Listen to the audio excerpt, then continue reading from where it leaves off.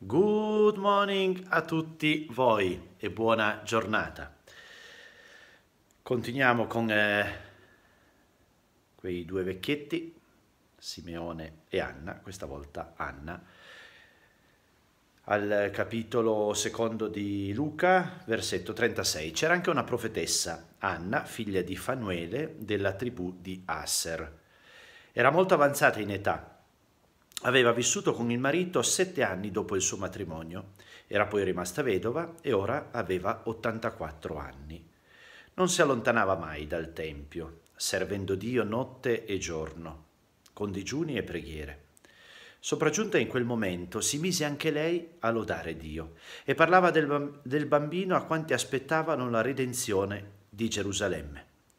Quando ebbero adempiuto Ogni cosa, secondo la legge del Signore, fecero ritorno in Galilea, alla loro città di Nazareth.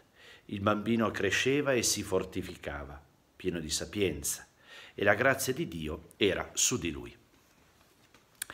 Dopo aver eh, ripreso la figura di eh, Simeone, che fa questo magnifico canto, arriva questa donna della tribù di Aser. La tribù di Aser era una tribù piccolina che si era al nord, diciamo così, della Terra Santa, e che pian piano si era un po' seduta eh, sul, eh, sui comportamenti un po' pagani. È una tribù che poi sparisce e, e Anna eh, rappresenta un po' il resto fedele di una tribù infedele rimane fedele Anna eh, giorno e notte, non va mai via dal Tempio, dice il Vangelo, perché, perché lì c'è la casa del suo sposo, che, che lei continua ad attendere.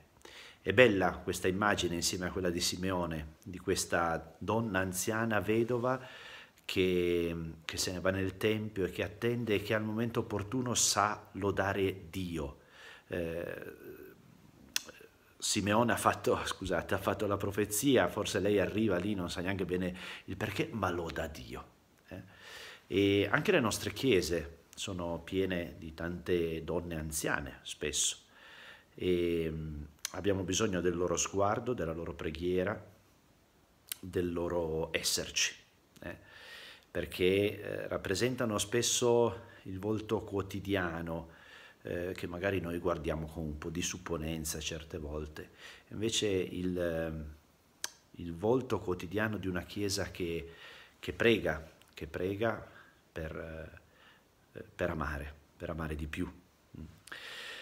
Che belli questi due che ci insegnano a stupirci a qualsiasi età, perché a qualsiasi età possiamo riconoscere la presenza di Dio ed è curioso, molto bello che ce lo insegnano in questi giorni due anziani. Guardiamo i nostri anziani e sappiamo riconoscere che talvolta eh, hanno uno sguardo luminoso, tanto, nonostante magari tanti anni sulle spalle. Le cose belle della giornata di ieri, beh direi soprattutto il gruppo dei giovanissimi che sono venuti per darsi da fare, il giorno prima abbiamo fatto i pupazzi di neve e, e, ieri invece abbiamo lavorato dividendoci in due gruppi, uno nel bazar dove ci sono i vestiti per i poveri, l'altro nella nostra officina che è molto disordinata. È stato bello vederli, è stato bello vedere la loro, la loro buona volontà di mettersi in gioco. Ale, buona giornata a voi!